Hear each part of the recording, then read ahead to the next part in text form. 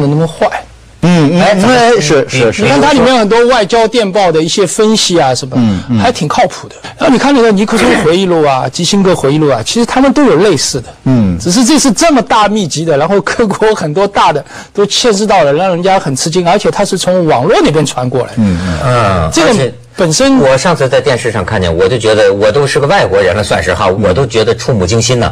好家伙，我觉得现在的科技也这么发达，这个呃直升飞机上面的作战的这个录像啊，那真叫清清楚楚、原原本本。包括我是在一个外国电视上看，但是它底下大体我英语听得出来，就完全是这波人要不要炸了他，炸了他，炸了他，炸了他，就哐一下就对。感觉然后机枪就叭叭叭叭叭全打趴下。你说这玩意儿看见之后，这国家威信呢，就但其实可能你比如说拿这个战争场面了，真正的战争它就是这样的。对。就不管是哪个国家什么也行啊，它战争都是这样，不外乎给这就把这个最真实的呈现一种残酷性在里面。嗯你看他对吧他他那个西方那个那个人呢、对于那个场面接见呐、还有很多细节的描绘。嗯，你比如说基辛格或者尼克松，你当年看他们回忆录，比如说他接见毛和周的时候怎么握手，嗯毛手颤抖，说一些话，他都有很详细的描绘。这危机解密，你看他对世界领袖的很多的细节，其实都一脉相传的。对只是这次呢，他通过阿桑奇这么搞出来的，让大家一通通一次给我看个够。您说这个像今天你看这次那个谁那个温家宝总理就访问印度嘛，就拿印度和他印度总理这个这个俩人就呃握手这个，然后印度报纸就解解读，其实呢是俩人握了半天手，然后印度总理要转身儿结果梆他一个镜头拍下来，印度总理的这个脚啊一个脚是朝外迈。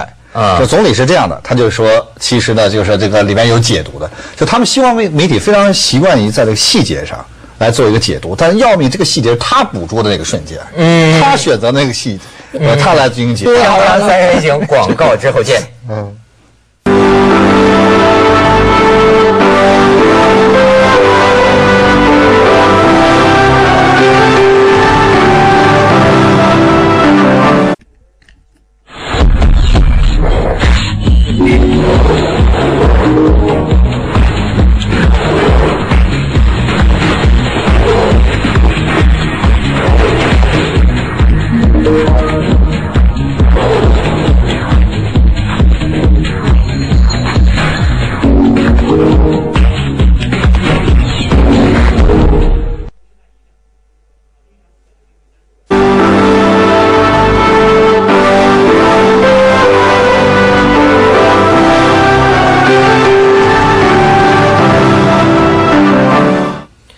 这事儿主要是啊，对未来提出一个可能，就是说这个网络这一出来，一个人的力量啊，现在我就有点感觉，现在什么密都有点保不住了。嗯，将来咱们有没有可能进入这么一个时代，就是技术上你也无法保什么密了？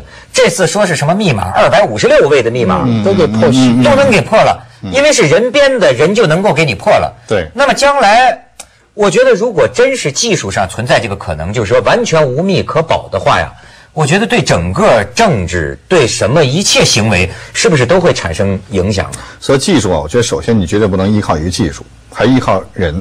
你与其管技术，不如管人。你像那天啊，我就跟一个人呃跟我说句话，我很有感触。他说这个电脑这个东西啊，就不可信的。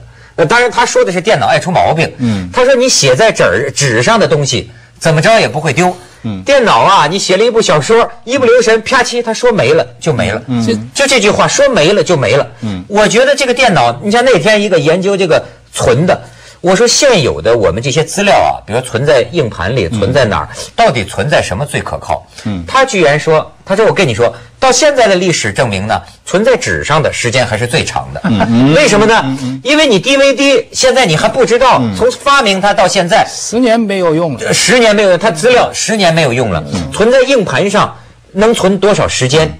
所以说这个东西意味着什么呢？就比如说，你是不是啊？传统媒体，呃，你得保留一个备份。其实呢，就是说这个现在信息因为出现网络，它的这个信息的交换的频率、交速的频率，然后这个呃这种呢，它呈指数的倍数在增加。那越是这样的，越就构成我们经常所说网络媒体的碎片化，但信息就会出现碎片化现在。你没有发现官僚系统它越害怕网络，它把任何东西都变成保密。嗯，其实你这次危机解密，你看大部分是没有什么秘密可言的。嗯，但是他把那个保密的级数越加越多，那个份数那个。那个什么都保密，让让这个那个解密变成了一种可能。哎，我举个例子来说，这就像有些美国电影里说的一样啊。假设说外星人要袭击地球，要末日了啊，那么从策略上讲，是应该政府先做好准备再公布，还是在第一？因为你第一时间马上向全世界公布这个消息，可能这个骚乱的情况啊。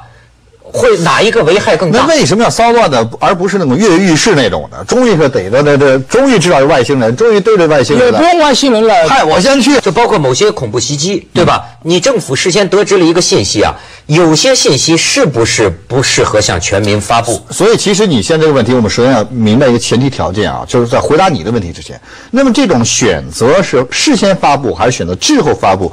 到底这是一个政府的一个灵机相动的一个技术性问题，还是个伦理性问题？呃，另外跟政府的类型有关，有些政府它必须得发布，有些政府可以不发布。但这两个不能绝对的看哪个好哪个坏，对，是吧？都各有长短处。哎，我就觉得这事儿还挺挺复杂。你这咱先去点广告，锵锵三人行，广告之后见。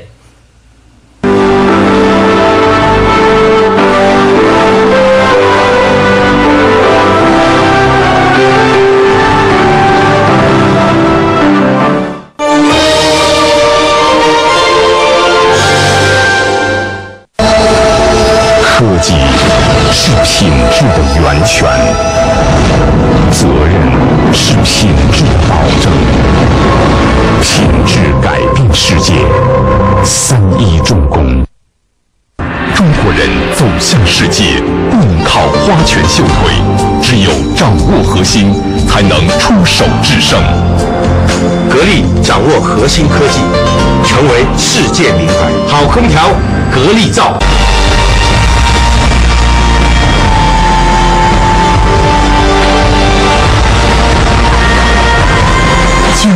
瞬间，缔造传奇，广汽传奇。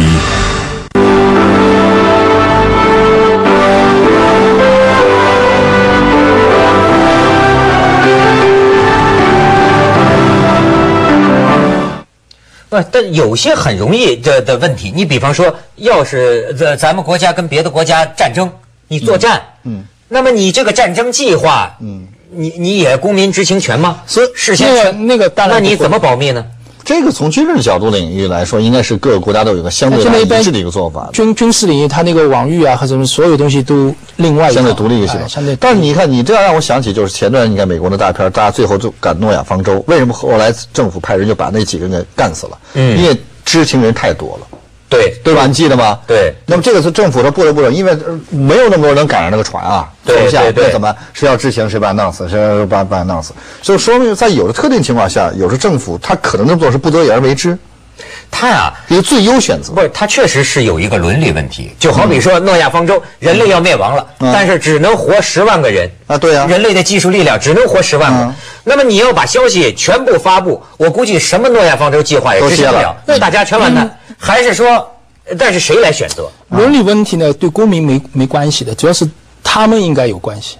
对于那个公的一方来说，我就是希望知道真相，所以他们就不停的攻。然后对公民来说呢，他们当然希望了解真相，所以呢，保密呢实际上是一些官员的事情。嗯嗯，公民没有什么责任。可以这么理解吗，黄老师？您说这种不对称，其实是这种动态的不动对称，偶尔平衡，偶尔不平衡，但不能绝对的对大部分情况下，那个掌握信息的人那个权力更大一点，因为他们可以做的坏事更多，哎这是一般的常识，所以没有办法。这个这个真的就是信息就是权力啊，信息就是权。这看来将来啊，就是个道高一尺，魔高一丈的关系。嗯，就作为政府或者某些专门机构来说，它永远也有保密的需求。嗯，那么就大家在这个这个什么呢？招数上，这个技术上见高低，那你看，单纯从技术上来说，永远有这个公民民兵去网攻你。啊，网络技术它永远是就刚你说道高一尺，魔高一丈，这是一个。另外一点就是作为人，人也不可靠，也可能有漏洞，